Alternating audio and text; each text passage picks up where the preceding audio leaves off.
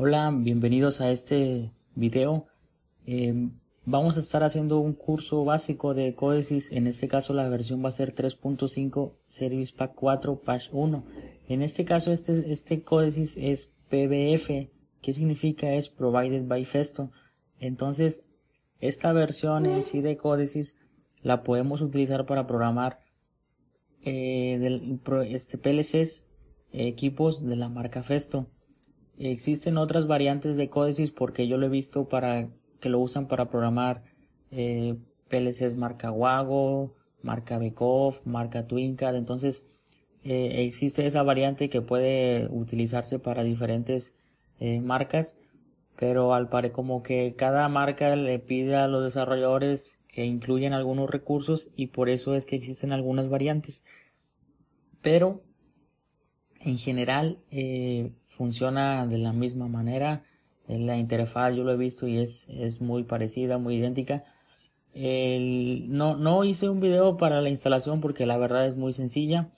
Simplemente es ejecutar en caso de que el equipo requiera algún recurso de Microsoft de, de, o de Java.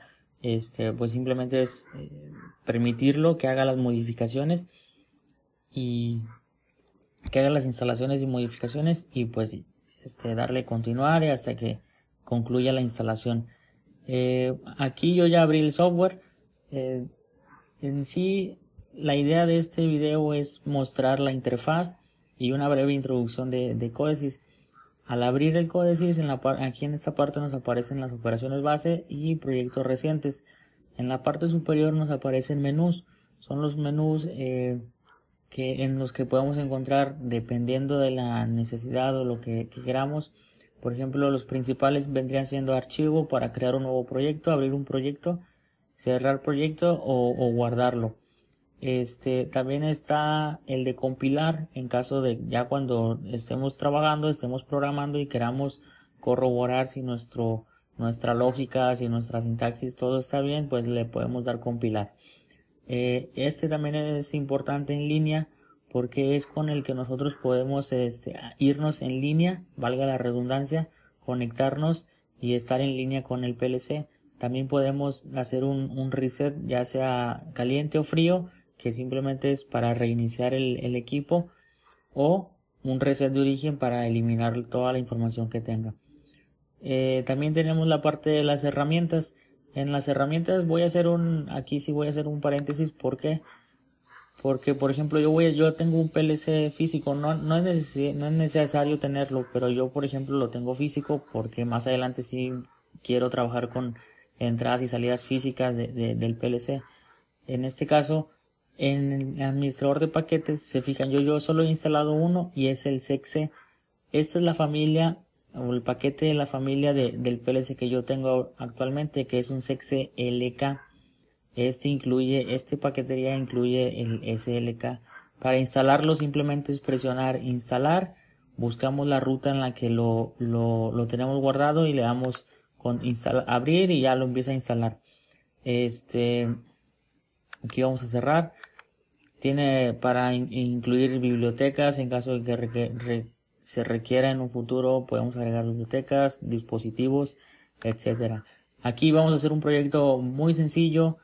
Eh, aquí, por ejemplo, lo que les comentaba, me aparece la plantilla de CXC. ¿Por qué? Porque yo ya lo instalé en la paquetería, en herramientas, como lo comentamos. Ahorita vamos a hacer un proyecto estándar.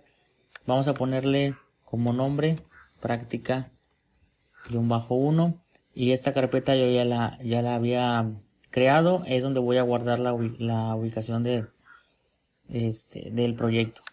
Le doy a aceptar.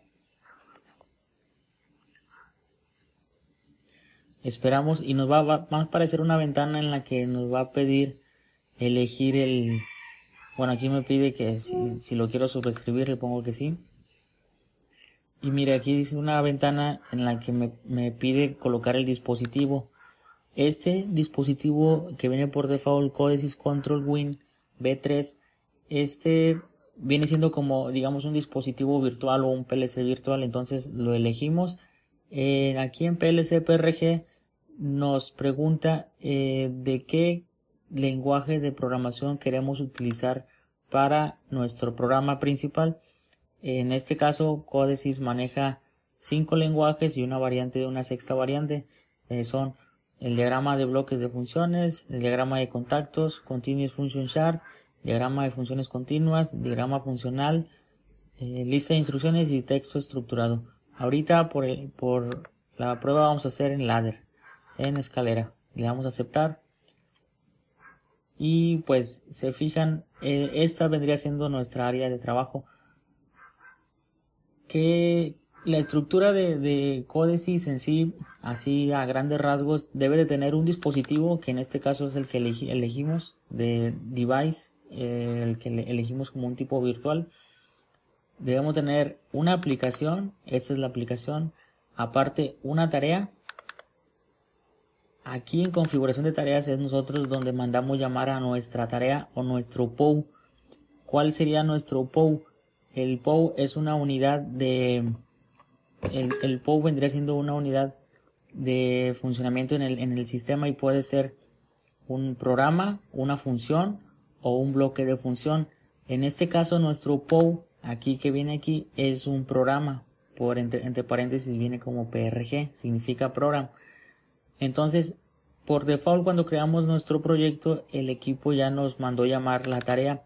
Esta sería la tarea plc-prg ¿Qué es lo que indica la tarea? Eh, la tarea en sí lo que nos, nos permite es darle prioridad y también el tipo de, el tipo de, de tarea que va a ser. Si va a ser cíclica, en, por evento, ejecución libre o estado.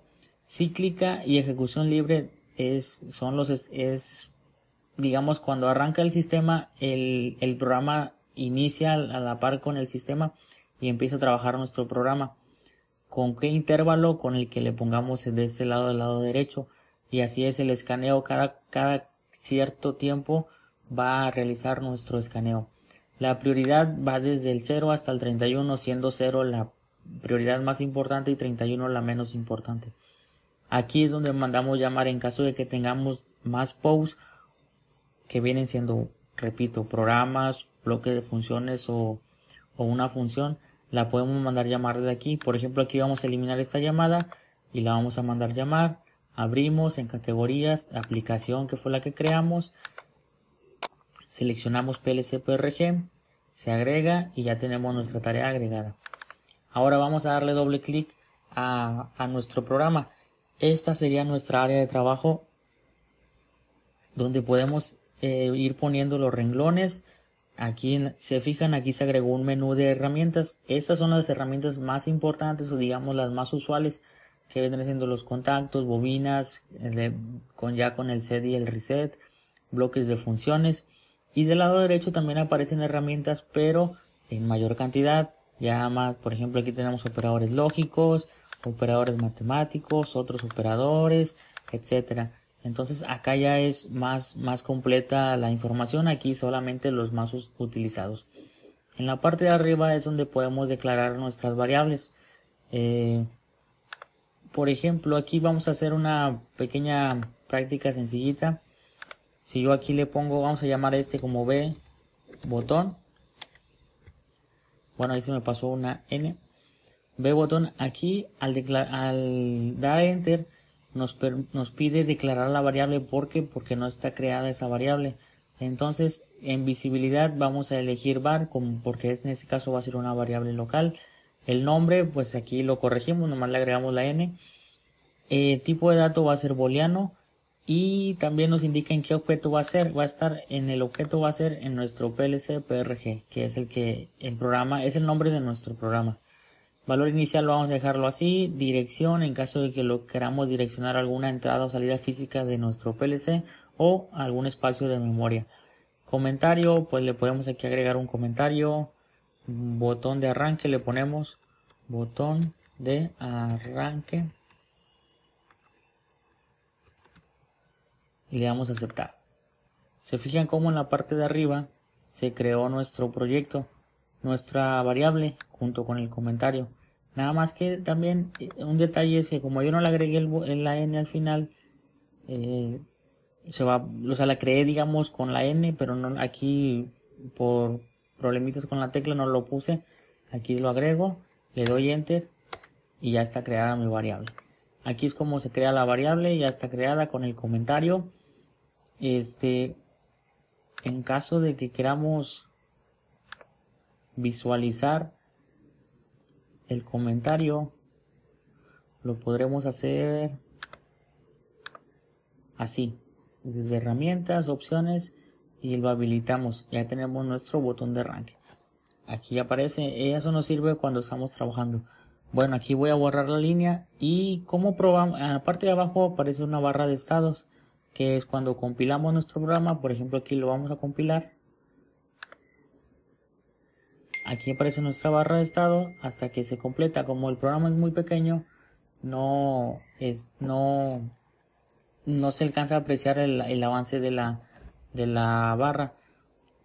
¿Cómo podemos probar nuestro, nuestro, valga la redundancia, nuestro programa? Es con una simulación.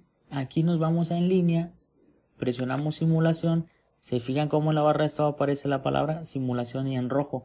Quiere decir que nuestro, mm, la manera en la que lo vamos a probar va a ser una simulación en nuestro dispositivo pues, virtual, nuestro PLC virtual. Para irnos en línea presionamos este botón verde. El equipo nos dice que no tiene, eh, que no existe esta aplicación, no existe en el control, aunque sea virtual, no existe. Si queremos crearla, le decimos que sí la creamos y una cosa es que al arrancar nuestro equipo está en stop. ¿Qué necesitamos? Necesitamos ponerle en y de esta manera ya nuestro equipo pasa a estar en ejecución pero en simulación. De la parte izquierda ya podemos ver cómo está en verde nuestro nuestro dispositivo nuestra aplicación.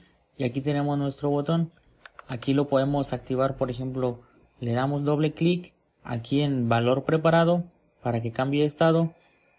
Presionamos tecla de control eh, sumado a F7 y ya con esto forzamos la salida ahora lo vamos a apagar doble clic control F7 y la apagamos bueno en sí este es un proyecto muy sencillo nada más era para mostrar la interfaz una breve introducción a Codesys y ahora sí más adelante vamos a estar haciendo más videos eh, concursos un pequeño ejemplos sencillos para ya al final llegar a un, un programa un poco más, pues no tan complejo, pero así completo, que incluya todos los ejercicios que vayamos haciendo a lo largo de este curso.